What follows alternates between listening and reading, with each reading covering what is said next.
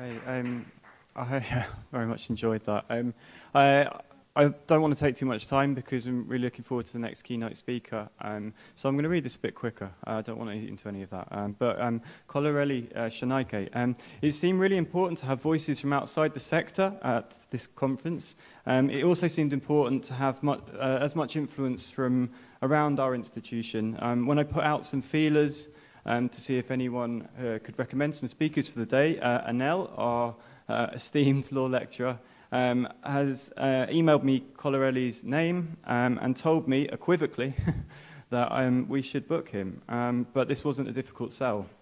Um, I've since become something of a stalker of uh, Kolarele's uh, The Great Speech podcast and all his online resources, which are a really excellent um, archive, um, and I recommend everyone. We're all orators as teachers, and it's just I've already learned an awful lot from from from following that. Um, um, one of the insights I've picked up from neuroscience to try and segue this a bit, um, or learning, is, is improved by the, social emotion, uh, the socio-emotional context of the thing being learned.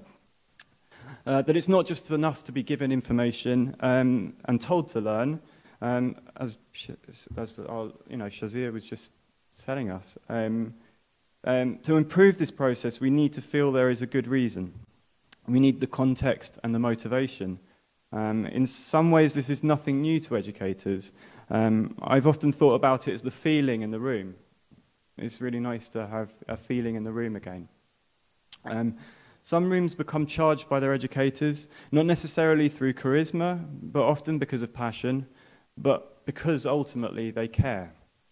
When we were communicating about this conference, I hope Kolarele doesn't mind me saying that one of the only requests he made was to see what the room looked like um, to get a feel for the space, um, and it was a lovely thing to hear. Um, we're at a juncture not only in education, but in the history of humankind, whereby our primary method of educating, voice, language, story, narrative, is in the process of becoming something different. Perhaps more effective at a certain kind of change, but not necessarily the most important tool for some of the most important tasks. And for all the while that we humans spend time trying to communicate difficult ideas to one another, speech will continue to be our brush and our palette. So it is with great pleasure uh, that I welcome Kolarele to, to the lectern today uh, to help us become better at being ourselves.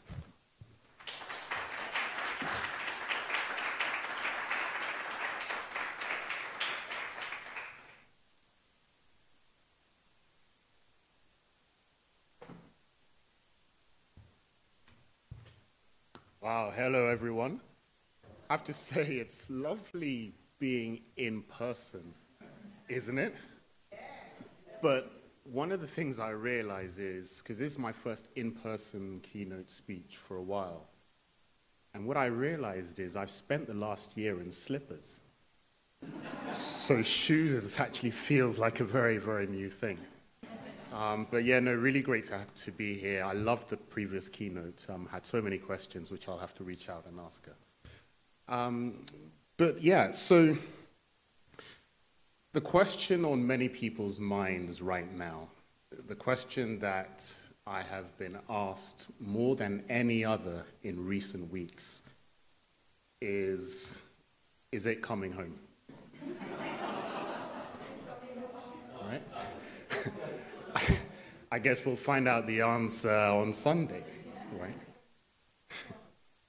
but like many of us in the minority in this country, my emotions when it comes to supporting England in football or in any other sport is complicated. But it shouldn't be. Right? After all, I was born in England. I grew up in England. My children live in England. I met my wife in England. Although I am Nigerian, like my wife and children, I have a British passport. My children have British passports. When I complete any form and tick the box about who I am, I tick British. And yet, the question, is it coming home, forces me to ask the more essential question of where is home? Is home where I lay my hat? Oops. Uh, I love my hats, as you can see.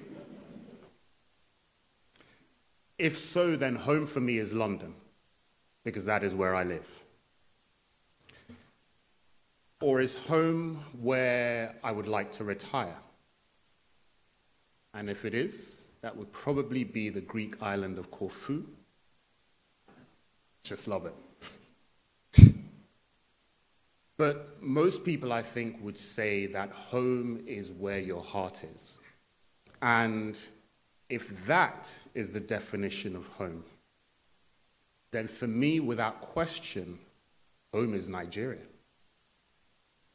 If I was to hang any flag out of my window of my car, or wear any kit in support of a football team.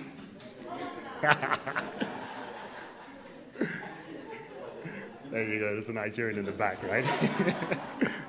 or wear any kid in support of a football team, it would be, well, first of all, it would be West Ham. Thank you. Some West Ham fans in here. Because they are pound for pound the best team in the world. Sorry, any Spurs supporters.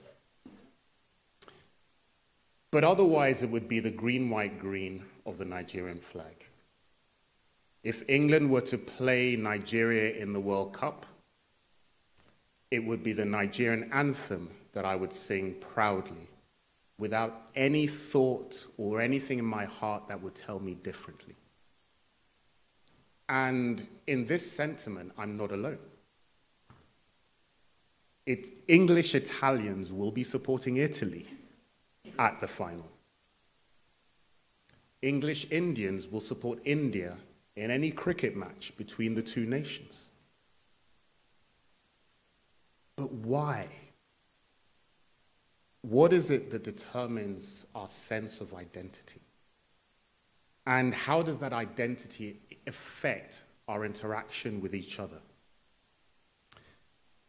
I mean, it's not as if Nigeria is more familiar to me. In many ways, it's not. In many ways, I am more of an outsider in my home than I am here. When I go back home, most often what people call me is London boy. or even further, Oyinbo, which literally means white person. because of the values that I express which seem in conflict with the values around me in my home. So, England should be the place that I call home. But then there are the experiences in this country. In my first week of school, age nine, in this country, Although I was born in this country, we went back, and then I came back here, age nine. I had three fights with other kids in my school because they kept calling me the N word. Or to be more precise, Nignog, because apparently that was funnier. I didn't like it, and so I fought. Didn't last long in that school. Parents took me out went somewhere else. On my first day as a barrister, in October 1998, when I was called to the bar, and I was proudly standing there with my parents dressed in Nigerian gear, celebrating our heritage. A judge approached us. Uh, she would later go on to sit on the Court of Appeal, I shall mention no names, and told me that now that I was called to the bar, now that I was a barrister, now I should consider myself British. She knew nothing about me. She didn't know my values. She didn't know where I identified with nationally. But she must have felt that somehow I would be inspired by these words. On my first day as a tenant in my new chambers in November 2000, I was called into a conference room by one of the senior barristers. I thought he was going to welcome me to chambers, maybe offer me to offer me to kind of be part of one of the big cases he had as a junior barrister. But no. The one, and as it turned out, the only question he asked was, Do you have any drugs? I didn't. My life in this country and the lives of many who are in the minority in this country or in their own country is littered with these and other smaller and larger indignities. They happen all the time in different circumstances with different people, and it affects you. It drains you. It forces you to constantly juggle between competing personalities that interact with the world in different ways. On some days, you're the fighter, and you call out the nonsense because it's nonsense. On other days, you just don't have the stomach for the fight. And you try and play the bigger person, the appeaser, because it's nonsense. No, sir, I don't have any drugs. I must have missed that module of bring drugs to your first day of chambers in law school. It's tiring. You know, on this very day, the 9th of July in 1868, the 14th Amendment to the United States Constitution was ratified in Congress guaranteeing full citizenship for black people in that country. And yet today, the fight to secure those rights goes on. It is as real and as present as ever. In this country, we have seen the cruelty of the treatment suffered by many of the Windrush generation who are treated as non citizens despite having devoted their entire lives to this country, in this country, on the strength of promises that were made to them. And if you've watched any of England's football games in this tournament, you'll have noticed the irony, or I would say the absurdity of England fans cheering for the players as they sing the national anthem, then booing them as they take a knee against racism, booing as they kneel against racism, and then cheering them again as they play and win. Absurd. In every country, on every continent in this planet, not just in the Western world. Those that are in a minority often feel that same sense of fractured identity, which complicates the relationship they have with the place that by all rights they should be able to call home and identity, this sense of who we are and who we perceive ourselves to be, has a far reaching impact on how we live our lives. In my work as a communications skills coach, I am often approached by entrepreneurs and executives who come to me for help with their communication skills. And by and large, in every case, they are hampered by a self limiting belief that they have convinced themselves of that I am not a natural public speaker. And this is the identity that they've crafted for themselves. It's what they've come to believe about themselves. And because that is who they are in their own eyes, it becomes a self fulfilling prophecy. Their world becomes controlled and compressed by this self limiting self perception. So when they give presentations, they go badly because that is what they believe will happen. That is what they think they are. Their thoughts become their reality. Some of my clients suffer panic attacks at the thought of giving a speech, and pretty soon they are avoiding every opportunity to speak, even though they know it will enhance and benefit their careers. That's what identity does.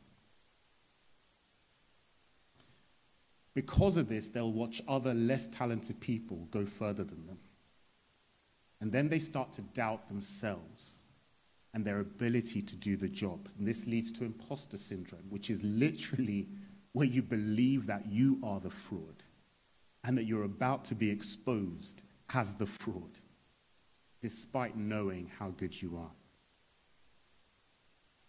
Now, by the way, if that's you, you're not alone. Uh, loads of surveys have been done on the fear of public speaking, which has been placed at number one in uh, humankind's list of greatest fears above uh, clowns, heights, death.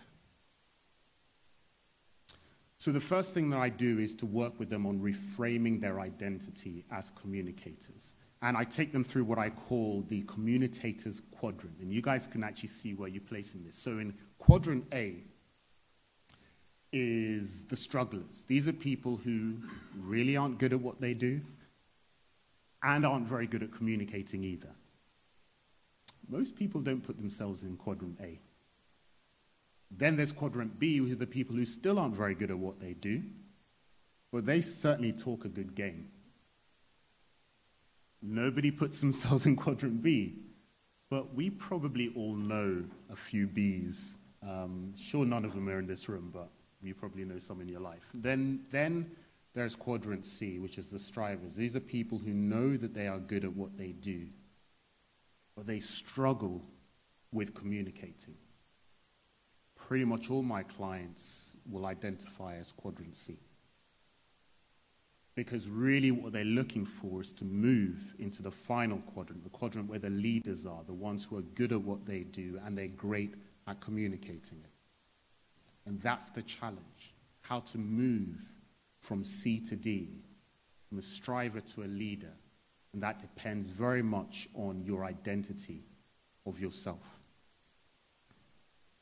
And then I show them a list of famous people who also struggled with public speaking.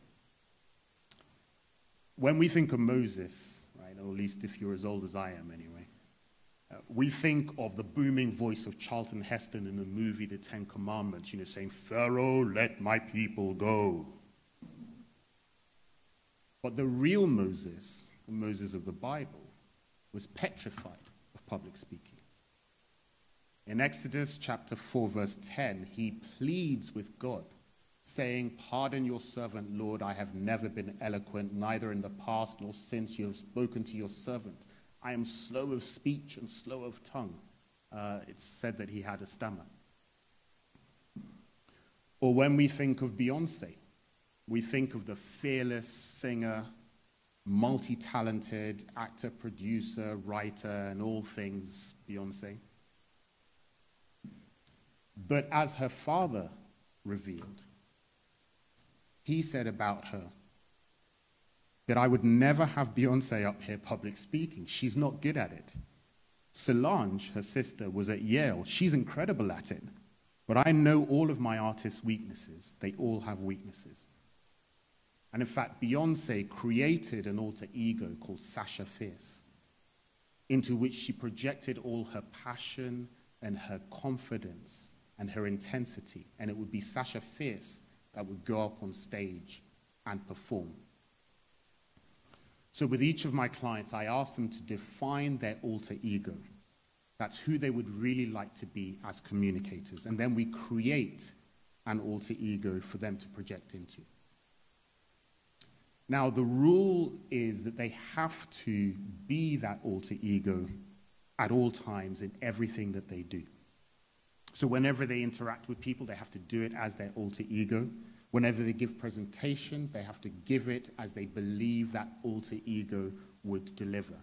And at first, it feels alien, but it is effective because sometimes it's when you put on a mask that you can hide your personal vulnerabilities and you can project more of yourself into what you are doing.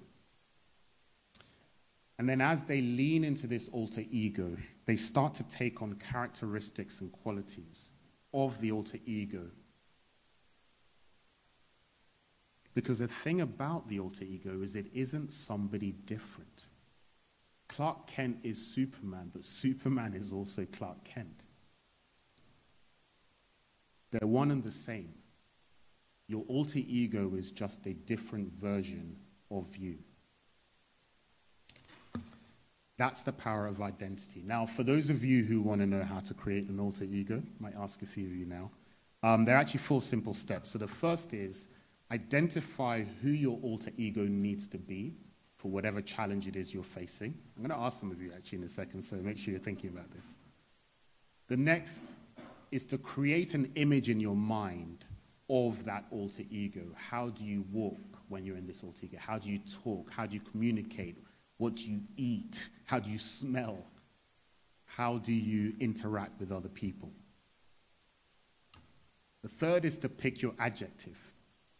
So you've got to pick an adjective that defines the key quality that this alter ego needs to have for the challenges in life that you're going to face.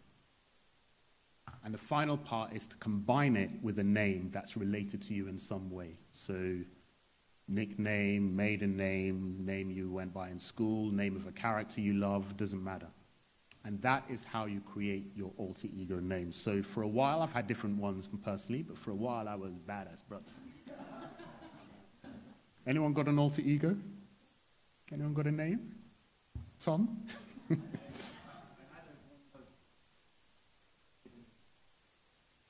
Oh, wow. Okay. and what was his personal challenge?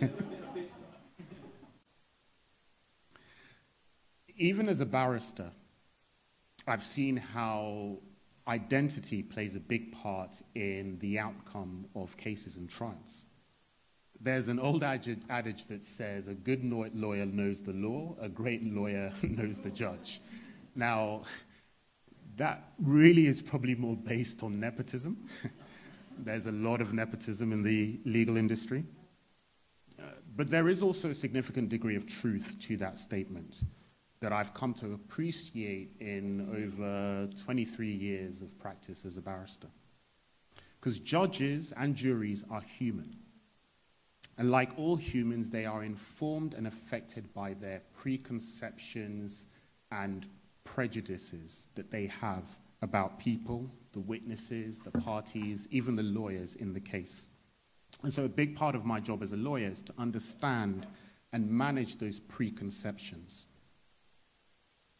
I was once shouted at by a judge when representing a client in a discrimination case. Uh, the case that my client had complained about the fact that she was often referred to as angry, she was a black woman, by her colleagues when she was just being assertive. And so I explained to the judge that part of our case, it was a discrimination case, would be about the application of the stereotype of the angry black woman to my client. At which point the judge shouted at me.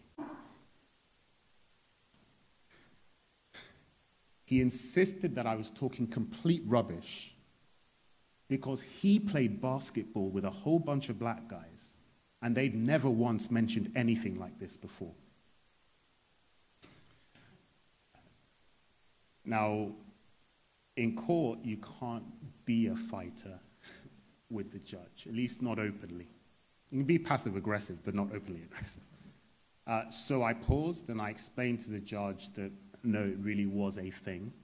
And I advised that over the lunch break, he take a few moments and Google the phrase angry black woman. And so he did. And he came back after the lunch break, slightly chastened, a little bit calmer, uh, and explained that he had done just that. And he was surprised because there were millions of entries about the term angry black woman. And he'd actually clicked on one or two of them, and one of them he had seen was about Michelle Obama, who had struggled through life because that same stereotype had been applied to her. And so, in that case, the judge experienced a shift in his perception of identity, helped by his affinity for the identity of somebody else, Michelle Obama. And that gave him a better connection and better understanding of the identity and the struggles with that of my client. I only wish I could have been a fly on the wall at his next basketball game. Guys, you didn't tell me about this. Identity matters, even in the justice system, sometimes more than the evidence and the documents and the law itself. I am a member, former president, in fact, of the 100 Black Men of London. It's one of the proudest things that I've ever done in my life. And in the very first session that we hold with our mentees of our mentoring program, we talk to them about self identity. And we define it or divide it into three core elements, which is self image, because so much of what young black boys and girls see of themselves, especially in the media, is of drug dealers and rappers, or at best, sportsmen and entertainers, and prostitutes. So we work with them on shifting their sense of self and how they see themselves. Then we talk about self knowledge which is about understanding your history and the richness of your African heritage. Because it's when you know where you came from that you can see and believe in the possibilities of your future. And finally, we talk about self esteem because we know that they will face great challenges in life. And it is only when they believe in themselves that we will have the fight and the power to work through the challenges that they will inevitably face. You know, one of my favorite moments actually is taking some of our mentees to a big conference in the United States every year. We haven't been able to do it for the last two years. Uh, but we take them, and one of the aspects is they have to give a presentation to the entire conference, over a thousand people with more watching online. And it's, it's a fascinating process because I see them just before they step onto stage, and you can see that they are full of anxiety and full of self doubt. Will they able, be able to do this? Are people going to laugh? And then they get up there and they're sitting on stage and they can see me and they're like, why is Kola grinning? But that's because I know what's going to come. Because once they start speaking and once they get out those first few words and they lean into it, they realize that the world isn't going to swallow them up. They realize that the audience is on their side. They identify with them. It helps that they have British accents in America. uh, seriously, like having a British accent and a black person in America is like puts you in a different kind of stratosphere.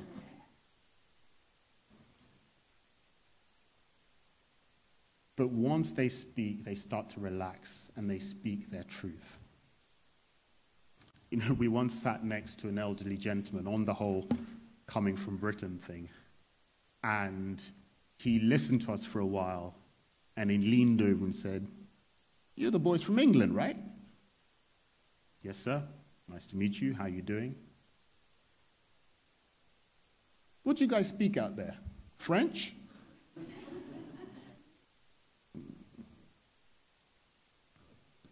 English? Oh. And when the mentees come off stage, you can see that they are literally several inches taller just in that moment, just from that experience. They are bigger, more confident, full of self belief. Their identities and who they perceive themselves to be has changed forever. And that means we have to consider the central question, which is are our identities fixed or are they fluid? Are we the same as we are from cradle to grave? Or can our identities be changed or enhanced or even grown? At school, I was quite an average student. I was decent but not exceptional at my studies, although I had the advantage of being a naturally hard worker. And at one stage, I passed the Oxford exams, uh, entrance exams, which took me to the next stage of getting interviews, which I did at Jesus College. But when you walk into a place where no one looks like you, no one talks like you, uh, most people have never really interacted with anybody like you, it's really not hard to predict how that's going to go. Uh, in fact, I discovered subsequently that Jesus College in Oxford is also known as the Welsh College, which probably explains why there were probably about 10 times as many white guys with red hair as there were black people on the day, because uh, it was only one. Uh, so I didn't get in. And to be honest, if I'm honest, that really affected me. Because I went from being you know, a promising student who might be the first Nigerian maybe to get into Jesus College to kind of an average student who lost his enthusiasm for the work. One of the challenges of higher education is to create environments in which students feel empowered to learn. They refer to university studies as disciplines because I think that is where we go to really have our minds forged and formed and we learn to think for ourselves. In the recent, much troubled report by the Center for Social Justice, uh, which is called Facing the Facts Ethnicity and Disadvantage in Britain, one of the notable findings they made was that ethnic minority children were starting to actually have comparable results at GCSE level to their white British counterparts. And yet, when it came to university and higher education, the graduation rates were noticeably lower.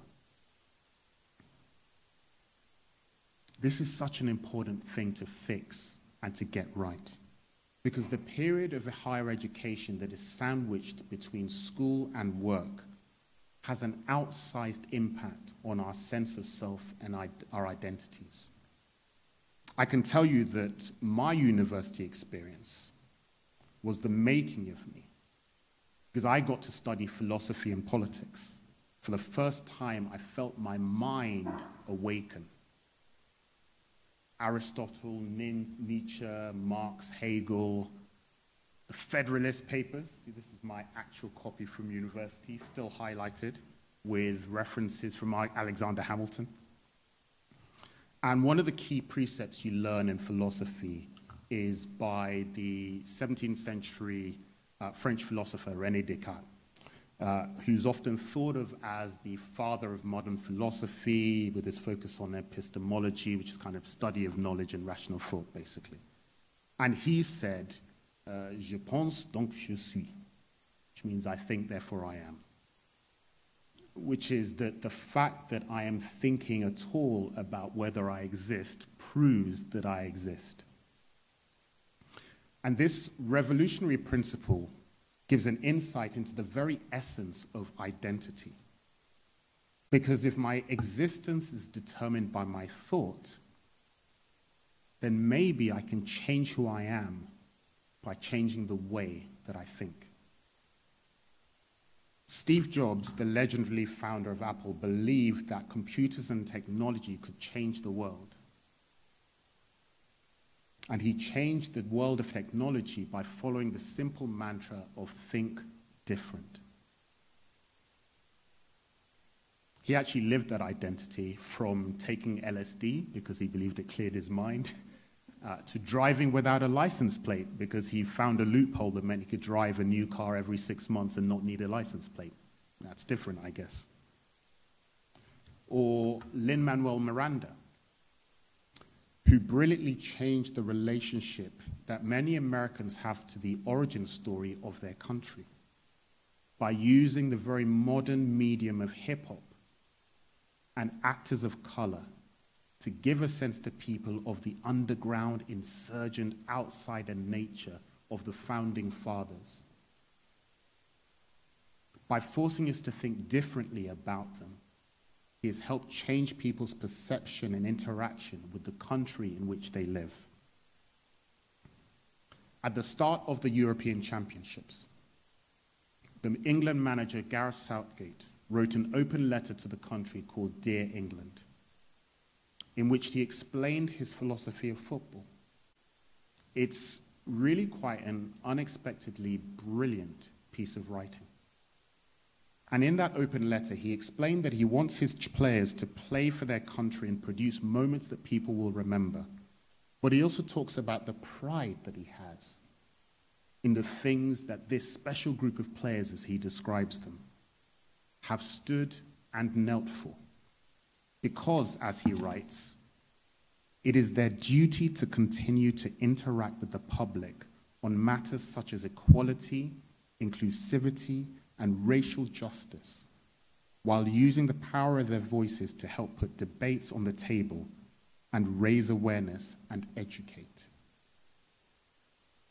Now, you will probably have heard the mantra that watch your thoughts, they become your words, watch your words, they become your actions, watch your actions, they become your habits, watch your habits, they become your character, and watch your character because it becomes your destiny. It's been attributed to everyone from the ancient Chinese philosopher Lao Tzu to the British Prime Minister Margaret Thatcher. But it means that if we change the way we think and we change the way we look at our identity, we will change our belief in ourselves and our interaction and experience with each other. In short, just by controlling and directing our thoughts, we can choose who we want to be. And we can create our own destiny. Because as Mahatma Gandhi said, you must be the change you want to see in the world. So this Sunday, for the first time in my life, I will support England in the final because my complicated relationship and affinity with this country still has a lot of evolving left to do. But I am inspired by the example of the players themselves and by the words of the England manager who said in his open letter that no matter what happens, I just hope that their parents, teachers, and club managers will turn to them and say, Look, that's the way to represent your country. That's what England is about. That's what is possible. Now, I know tomorrow or next week I will see or experience something that again challenges and undermines my sense of identity within this country. It might be a cabbie that declines to pick me up. It could be a court clerk that assumes that I'm the defendant, not the barrister. It could be somebody mispronouncing my name. My name is Kolarele Sonaike, but I once called up a solicitor who, uh, when, it, the, when she answered the phone, said, Who is this? I said, It's Kola. I said, Oh, I was told it was Colin from IKEA.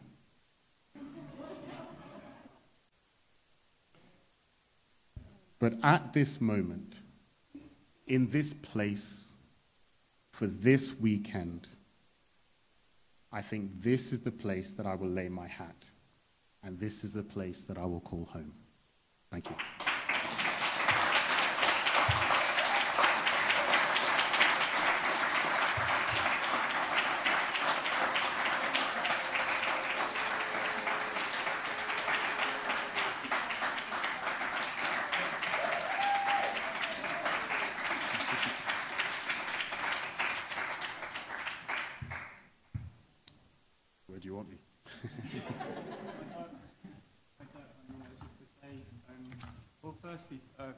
thank you again. um, I've no, I have um, absolutely no notes from that, um, but I think I speak for everyone to feel like I've taken something that I can't articulate at the moment. Um, so um, all I say is that um, we wanted to do something a little bit different. Anel has agreed to speak with uh, Kolarele now. What we're going to do is have an open discussion. I think this, we'll see how it goes. And we would also love input something. I don't want to be greedy for time now, but we have it if we need it. um, we have some prizes to give. Um, so see how it goes. If, if you, you know, you, it's all your call. So um, and if, if people want to add something at some stage, we'll, we'll take it from there. Please permit me on one occasion to address you this way. I want to say that was amazing, my badass brother. amazing. Thank you. I appreciate that. Thank you. right. I have to say I'm a little bit disappointed though because I was thinking that at least one person would have done the little tongue rolling. I really can't do it. But I thought one per has anyone got that ability in the house? Come on, don't disappoint. Let's try another applause. Thank you, thank you, thank you. All right. Just one, just one. so we really appreciated you being here. Now that was such an informative, uh, inspiring, uh, heartfelt presentation. I think we're all left with major respect and it connected. And that's the amazing thing about being authentic uh, all of us as humans can connect with that authenticity. I was going to ask you, but you've answered. Who's your superhero? I want you to say it with your own voice. I want you to say, who's your superhero?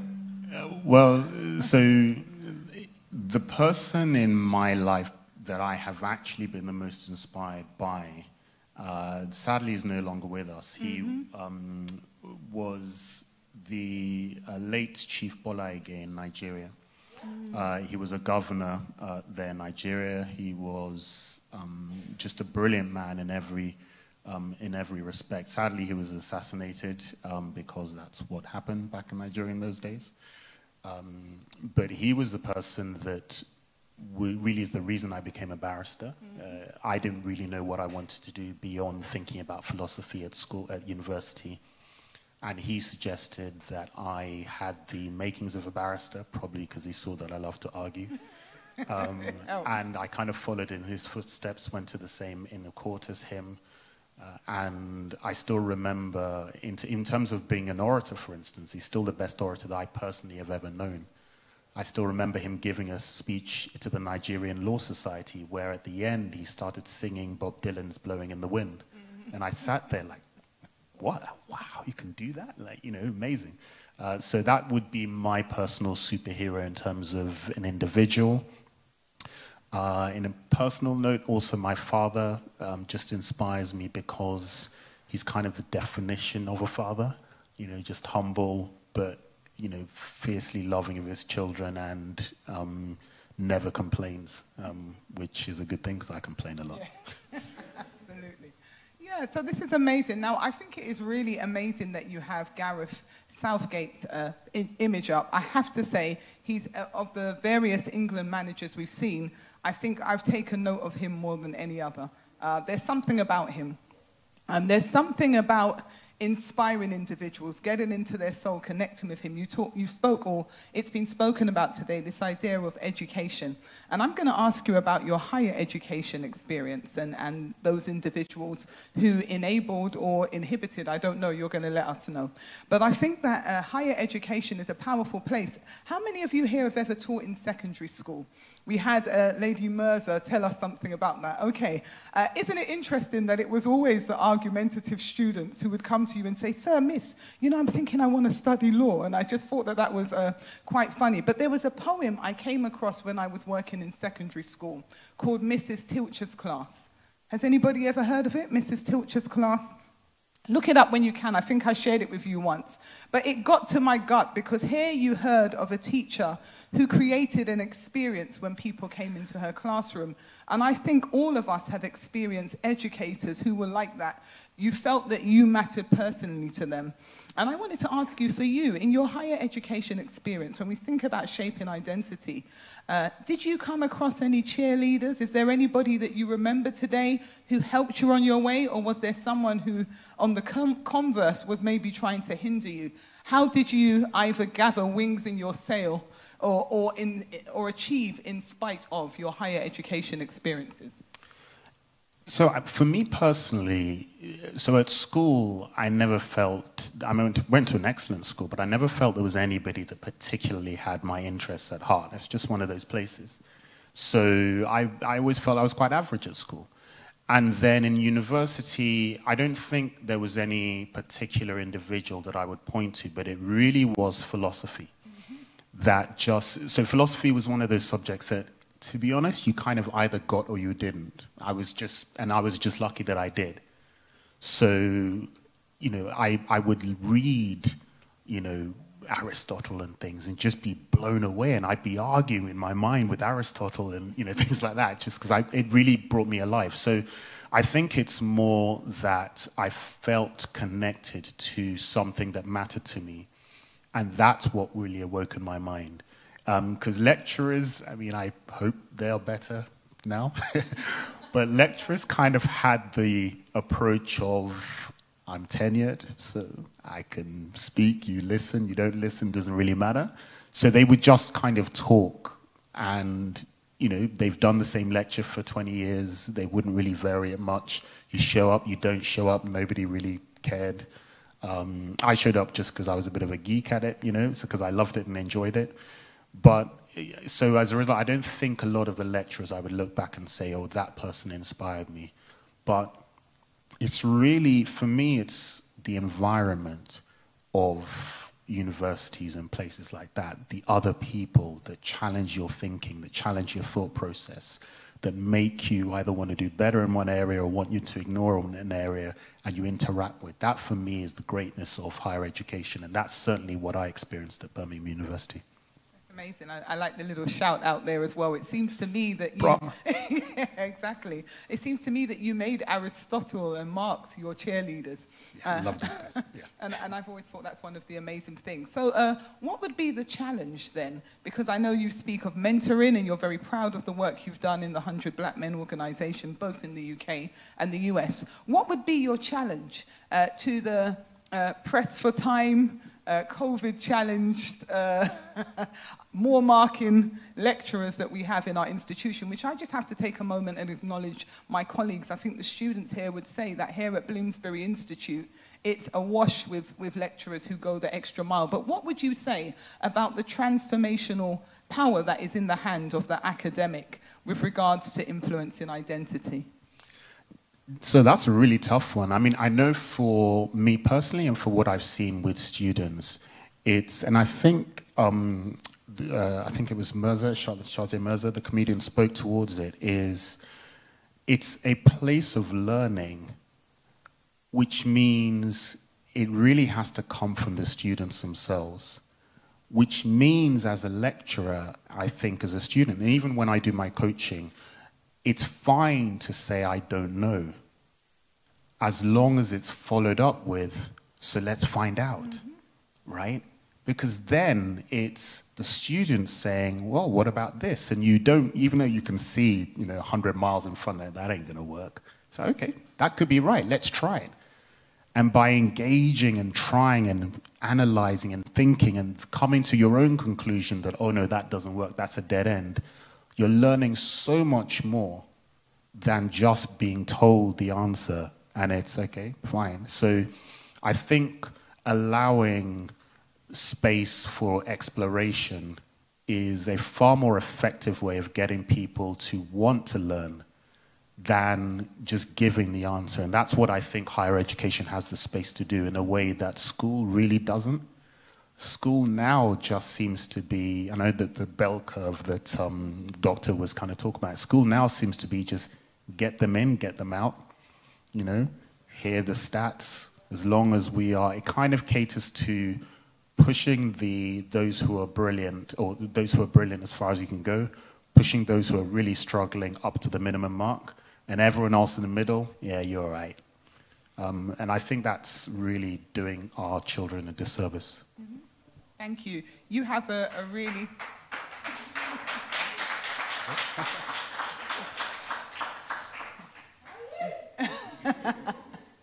it's, it's clear that you have a really rich identity, and I love the fact that you spoke about this identity as something that's evolving and not fixed. And I just want to take a moment to celebrate with you uh, this journey from a nine year old boy who comes back uh, and is struggling. But, but, you know, fighting spirit is a good thing. Your, your parents did the right thing because that could have been problematic if, if that trajectory continued. But, you know, I want to take you back to this idea of nine-year-old boy, and here we see you today.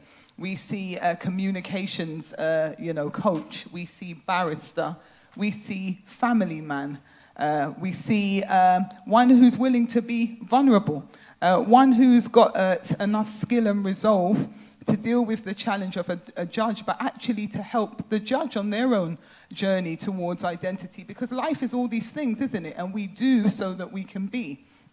So I wanted to ask you how did you navigate and carve out your identity? And it's, it's valuable for all of us to hear because we're still on that journey. How did you carve out and navigate your identity in a space that didn't necessarily tell you that you could be who you are today? Um, I think everything in this way is trial and error. you know, I'd love to. So there's a speech that Steve Jobs gave, uh, known as the Stanford Address, uh, which his, his idea there was it's only when you look back that you can connect the dots and see that everything was meant to be. But when you're looking forward, you really don't have any idea. So you just do what seems right in the moment. Uh, and kind of as you get better at it, you make better decisions.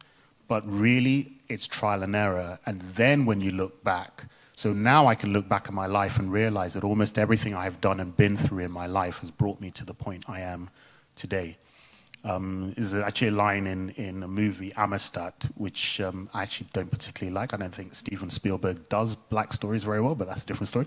Um, but it's in that movie, there's a line where the main character, um, uh, Djimon Hounsou, I think it is, says, I'm going to reach back and call my ancestors to help us because in this moment, I am the entire reason they ever existed it's looking back that you can see that stuff. But looking forward, I think you just make the best decision you can um, and hope it doesn't mess up. Thank you. I just want to forewarn you that I'm about to open the floor. Our time is running out, and I want to give our students in particular an opportunity to ask a question. Take the opportunity, it's good for your identity, okay? it really is. Uh, but I wanted to ask you about this idea of imposter syndrome that some of us more than others may experience. Uh, what is the role within higher education, would you say, to help individuals to be able to navigate that threat? Because imposter syndrome, you know, it poses a threat to confidence. It poses a threat to you being who you can be. Uh, what would you advise is potentially the role that higher education can play in helping individual to navigate, or as it were, to, to skip over that challenge, land firmly on your feet, and keep running with who you are and who you're supposed to be? I don't know. That's all right. um, no, I'm, I'm honest because uh, unless things have changed, I mean, it's what, 91 to 94, so it's been a while since I've been at uni. But I, I, didn't, I don't look at that period and think about my lecturers or my, I think there was a, you know, um, kind of tutor kind of character being the person or the people that helped me in anything more than just giving me the knowledge that I needed for the course. Um, but I don't think it needs to be. I think it really is the environment. I think it's probably helping students to find their niche, find their, their kind of circle, so expose them to lots of different activities and societies. So I joined loads of societies, mm. and it's probably actually that that helped me find, oh, these are my people, and then feel more comfortable. And then once you realize that you're not alone, it gives you more confidence to be yourself. That's actually one of the advantages of social media, I think. Mm-hmm. As for all the challenges that we know social media has, the ability to know that I love this thing that seems really weird and unique, but actually there is a group in Guatemala that is into the same thing is really empowering. So I think probably higher education, in a way, COVID has kind of forced us to do it, can embrace the opportunities that exist from the interactive nature that life now is and just help students find their niche so that they feel connected and then they'll feel more confident. but that's just a guess. That's wonderful. I can't tell you how delighted I was to hear in your address that when the, uh, uh, the senior barrister, perhaps a QC, asked you uh, for drugs, you were unable to supply him. I, that, that, filled me with great delight. But I, I just, my final uh, thing I want to ask you to do is actually, we do have law students here. And I, I can say from my own uh, journey on this, uh, you know, this life of law, it's tough. And um, one of the things that's always on my mind is how can we help our law students? All students, you can get something from this. But in particular, I'm speaking about the law students because of the uh, problems that are inherent with it, systemic even within this industry. What would you say to the law student who's just starting out, who's now thinking, once I get my first in my degree, it's plain sailing, who might not get a first in the degree? What, what do you have to say to spur them along on their journey? And then it's over to you guys, so be ready. There is one advice that I give uh, that I only ever give when it comes to law because it is a really, really tough industry. And it's, if you are unsure that this is what you want to do, don't do it because it will grind you down. Uh, so it's now so competitive that even if you are white, male, middle class, you don't have any guarantees. It used to be you could stay in, but now you, you really can't. So anyone so if you're unsure, if you're not certain that this is what I have to do with my life, find something else. There's a whole load more out there in the world, especially in today's world. But if you are certain, don't let anybody tell you no. Don't be fooled by the I have to have a first from Cambridge or whatever. I can tell you that the best barristers that I know and the best barristers I've ever come, come across or come against have never been the Oxford and the Cambridge graduates and the people who were supposedly the most, you know, the smartest. In fact, they actually tend to be pretty bad barristers. And by that, I mean not that they don't have an academic understanding of the law, but law is actually so much more about people management. You're managing the judge, managing the clients, managing your opponents, managing yourself. And if you don't actually have the ability to manage all of that, you will be a really average lawyer. You know, I've negotiated against some barristers where I'm kind of internally laughing, right? So I have the advantage of being the Nigerian, so you know, we grow up haggling, right? It's in the blood. right. And, you know, I remember dealing with one barrister where they made an offer and I just said no because I knew what my clients wanted. And they'd already made an offer that was actually what my clients would have accepted. But I said no because I just perceived that this wasn't the final offer. Now, there's a rule, is like you don't negotiate against yourself. But I said no, I didn't counter offer. And he came and said, oh, oh well, okay, hold, hold on, hold on, hold on. Then he went away for five minutes and then came back with a new offer, higher offer. Okay. And I still hadn't made an offer. I was like, no. I mean, okay, we just hold on. And he went, and literally about four or five times, this, this poor guy came back with new offer that was higher each time. And I just kept on saying no. And then eventually I made my first offer, which was far in excess of where he was. And so, oh, okay. And then he went back and it just went back and forth. To the end, we got some ridiculously good offer that was just based on the fact that he did not know how to manage people. Uh, and he was, because you kind of do this when you're a lawyer, you look up your opponent and kind of see where they're from. And he was literally one of these double first from Cambridge guys. So, understanding how to live in the real world, not live in your head in the academic world, is really important when you get out into the real world of law. Massive, big message. Know who you are, be at peace with who you are, project that confidently, it will serve you. Thank you. I've got goose pimples. I don't know about anybody else. I see a question. You. well, I saw the hand. It's like the auction, isn't it? I got that little message. So the floor is yours.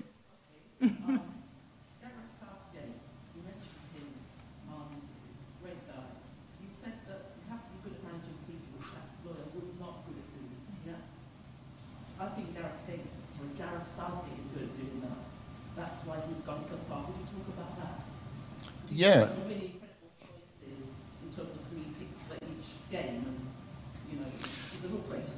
So, um, I, okay, um, I, I, I didn't predict that he would be that good, to be honest. He seemed like a nice guy, but kind of mild.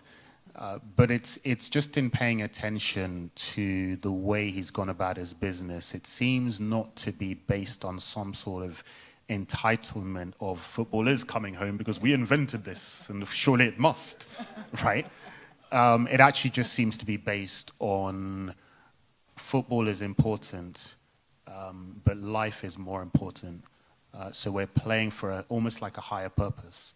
Um, and I think that's given a humility to the team that actually means that they are kind of performing better than they would when they thought, uh, as previous generations of players have, that they were entitled to win somehow, that it must come home. Um, so we'll see. But yeah, I'm impressed. Read the letter. It's, it's really one of the best um, pieces of writing that I've seen in a while uh, on this topic. Thank you. I was Lady seeing some uh. wrap-up signs, but I didn't. Okay, who, I was looking for them, and they, okay, I've got it now. Thank you. I was looking in the wrong place. yes, go for it, lady at the back. Last question.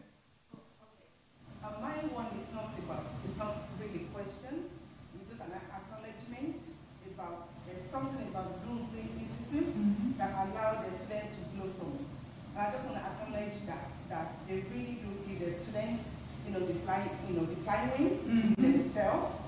Be if you're loud like me, you are loud, there's room for you. You are quiet, like the president, there's room for you. I really want to acknowledge the lecturers, seriously. I'm not having as anybody. I really want to say thank you to all the lecturers that allow me to be me mm-hmm. for the past years, that allow us, helping us, teaching us, at the same time not giving everything on the plate to us, allowing us to go to library, allowing us to fetch for ourselves, at the same time come back to them, asking questions and giving us this, you know, space for them to say, okay, I don't know yet, let me go back and come back to you. So thank you so much, all the lecturers. Thank you for making these three years a joyful one for us. Thank you. I'm, I've been, I'm told we should wrap up, and I'm seeing two hands, and I'm struggling. I've had the nod. We could go ahead. So we've got one from the president and one from uh, one of our uh, former uh, students and also now present academic. So both of you, please. If we take both questions, and then uh, Dr. Kolarele, let's step him up while he's here. we'll respond. Go for it. Just um, uh, a question of, uh, about your name. Is there a meaning attached to it? I didn't hear that. Your name. Oh, mine? Yeah. Yeah. Yeah, so it's basically, yeah, it's basically cool or la really. So, um, the one who brings honor or wealth to the home, basically. Still trying. bring, the honor and the wealth. Your, your, so, your, parents named well. Well, so in, in Yoruba culture, actually, your, your, it's your technically your grandparents that name you. Um, so your grandparents will give a name to the parents to say, this is the name. Now, actually, just, I don't know if we've got time, but my father actually came to me before my children were, going to be born and kind of like, yes, so the name I have chosen, I was like, you know, dad, dad, dad. Hold on, hold on, right? Things have to things have to evolve, right? You're speaking to this London boy. Things have to evolve. Um, so actually, what we agreed in terms of the process, because actually I love that tradition. I think I think your name is what you carry for life, right? It should mean something. Um, so what we agreed was that they would actually kind of give us a list of names that they liked, and then from that, that list, we would choose a name that really meant a lot to us. Uh, and so that's what we did with both our children. Um, so yeah, that's what my personal name means, and then my children's names are uh, Omololu, which is child of God, effectively, and Similola, which is rests in grace. Um, but that was out of a long list of names that my parents gave us, some of which I'm like, hell no. that's, that's beautiful. And I'm just thinking your father was probably quite peeved, you know, by this idea. You educate these, these children and now they come and don't follow your traditions. But it's good. Good you gave him some honor. Please, Samuel. But I came to this institution in 2016, and that's my first time coming to law. I, I came from HR into law, and my two years of my asymmetric program, I've got the best of teaching here. Are trying to propel me, I left it to first class. And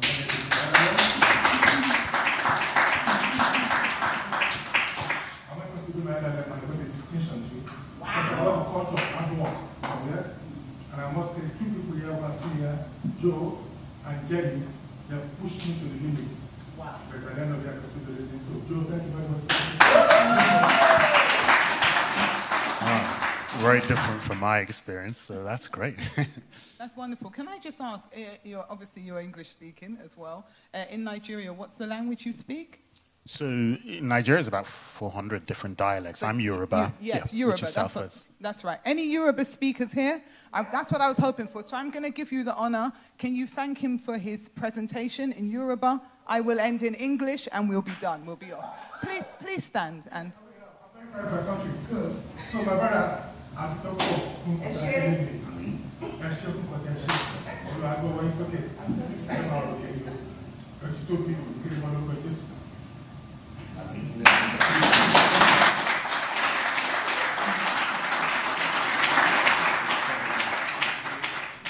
Thank you so much, Kolarele Sonaike. Forgive me if my pronunciation is not perfect. It's been an excellent presentation. Thank you for what you've given. Thank you that on the three occasions I've met you in my life, you've always spoken words of life. May that always be your experience, your portion, and your gift to those you speak to. Thank you. Thank you. Thank you very much.